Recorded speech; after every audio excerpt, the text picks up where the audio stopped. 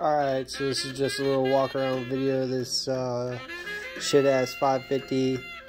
Um, I'm about to get into some tray mods on this thing. Kind of runs like shit. It's got a Yamaha 650 in it, but uh, it come out of a junkyard ski, and carburetor needs to get gone through. But you know, I was out a couple times this season, and it ran so anyway, so the idea is follow this line here, get a few more inches this side and that side of the tray. It's just trying to get it a little bit more comfortable to ride. This is sort of just a little remember when this is what it looks like now video kind of deal. The dolly broke so I gotta rebuild this shit. Go through this shit under the hood. And get into this fiberglass work on the uh, the tray. I'm probably just gonna you know, go for it. Might want to do some like built-in footholds, but I'm not gonna buy any like uh, prefab fiberglass molded whatever. So yeah, this is what it looks like right now dirty as shit. I just started pulling off this paint protection film that I had on there. Shit yellowed up quite a bit, but yeah, get that off before I start cutting.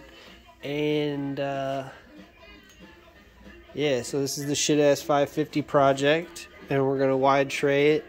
Plan is to get that done before next riding season. Today is uh, fucking middle of October. And at that point, probably all the graphics are going to go. I might get a new paint job on it. And, uh, yeah, probably like a white pearl or some sort of flake. And then just like candy that same graphic over the top of it. Because I, I like it, man. But, yeah, same as anything else, dude.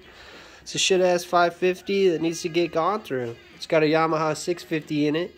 I'll pull off the hood here.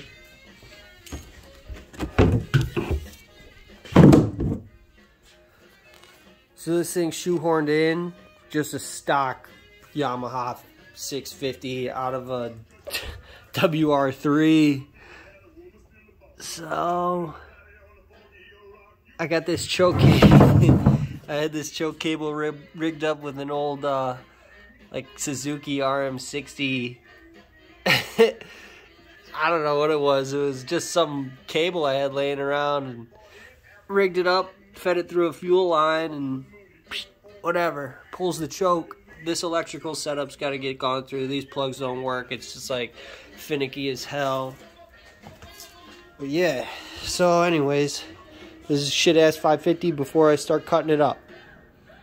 Quick video of this hot piece of garbage. Peace.